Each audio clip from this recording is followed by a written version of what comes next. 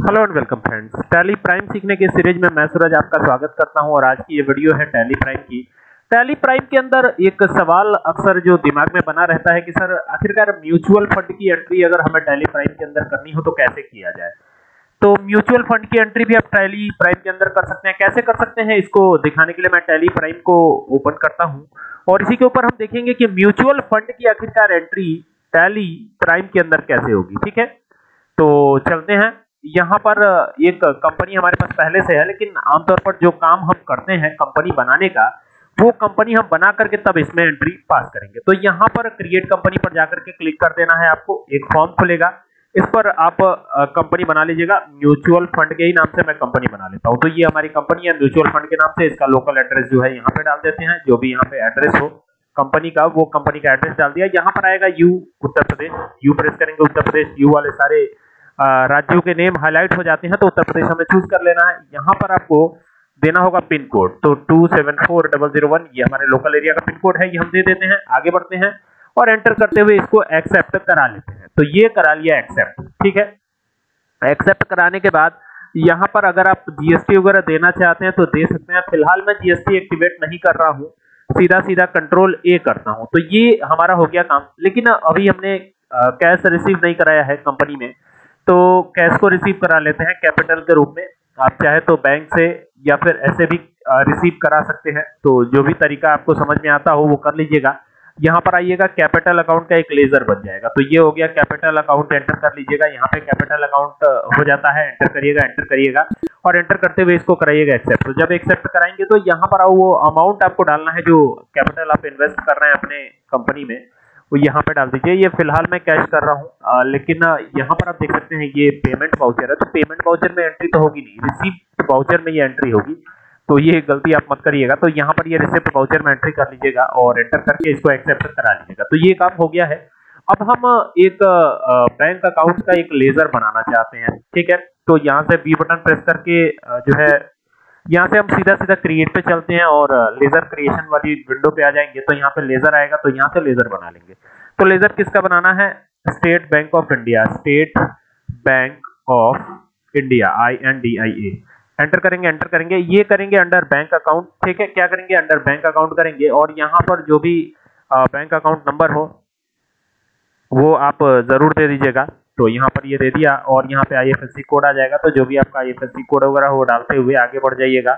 और यहाँ पर आएगा आपका जो नंबर है और जो लोकल एरिया में जो ब्रांच है, उस जगह का नाम आ जाएगा और एंटर एंटर करके इसको एक्सेप्ट करा लीजिएगा जब एक्सेप्ट करा लेंगे तो इसके अंदर पैसा भी हमें डालना है। तो वो पैसा कैसे डालेंगे देखिए विंट्रा में चलना होगा। अगर हम चाहते हैं उस बैंक अकाउंट में पैसा रिसीव कराना तो कंट्रा में चलते हैं। कंट्रा F4 प्रेस करके जा सकते हैं आप कंट्रा में। और यहाँ पर आपको एक चीज़ ध्यान रखनी है कि इसे सिंगल एंट्री मोड में ले लेना है। जब इसे सिंगल एंट्री मोड में ले लेंगे तो सारा काम हो जाएगा बहुत ही ज़्यादा आसान। तो यहाँ पे एंटर एंटर करके और इसे सिंगल एंट्री मोड में लेकर के एंटर करके एक्सेप्ट करा लीजिएगा। यहाँ पे अब टू आ रहा है तो यहाँ पर चेंज मोड दिया गया इस पर क्लिक करके और इसे सिंगल एंट्री मोड आप बना सकते हैं। तो ये हो जाएगा तो ये ऐसे आएगा। अब आपको यहाँ पर उस खाते का नाम देना है जिसमें कि पैसा इन होगा यानी जाएगा। तो यहाँ पे एसबीआई के अंदर हमें पैसा डालना है और कैश में डालना है। तो यहाँ कैश कर दिया। कितना पैसा डालना है? जैसे मान लीजिए इस बार हम सत्तर हज़ार रुपए डाल देते हैं। तो यहाँ पे डाल दिया।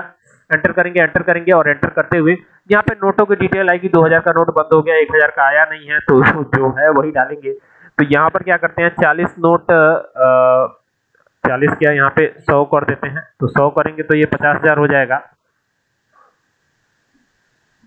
एक सौ बीस कर देते हैं। तो ये साठ हज़ार हो जाएगा और 140 कर देते हैं तो ये।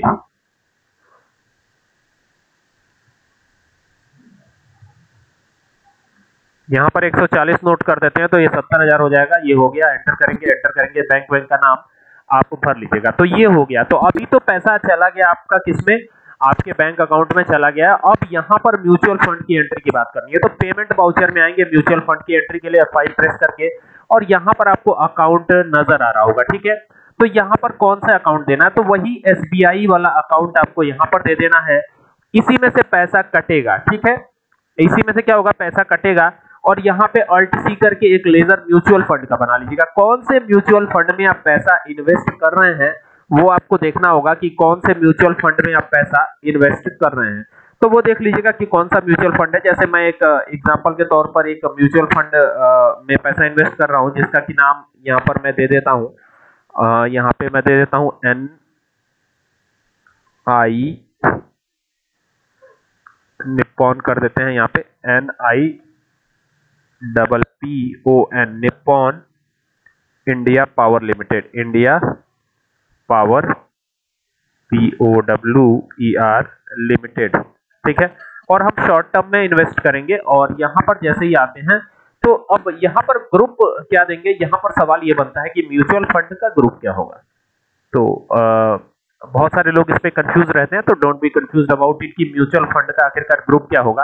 आप इसकी एंट्री जनरल बाउचर में भी कर सकते हैं लेकिन यहाँ पर मैं पेमेंट बाउचर में ही एंट्री ये करके आपको दिखा रहा हूँ।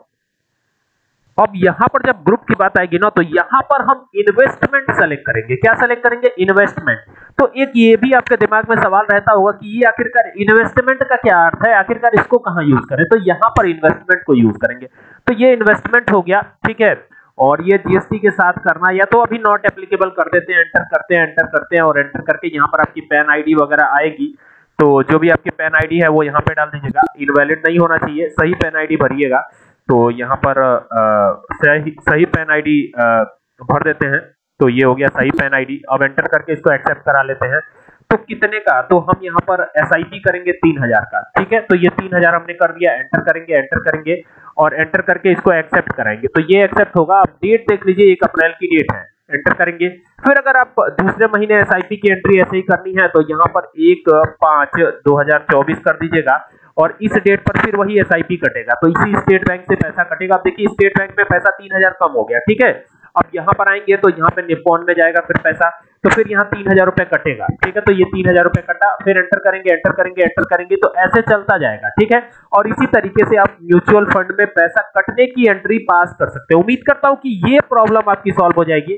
कुछ लोगों की ये भी समस्या है कि ये कैसे होगा, ये आखिरकार म्यूचुअल फंड वाली एंट्री कैसे हम पास करेंगे? अब जैसे मान लीजिए तीसरा जो आना है तो यहाँ पे फिर वही स्टेट बैंक ऑफ़ इंडिया आ जाएगा, ठीक है?